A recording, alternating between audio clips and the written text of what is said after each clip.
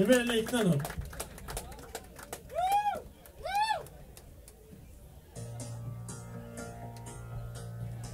Om ni kan den här, hjälp mig lite.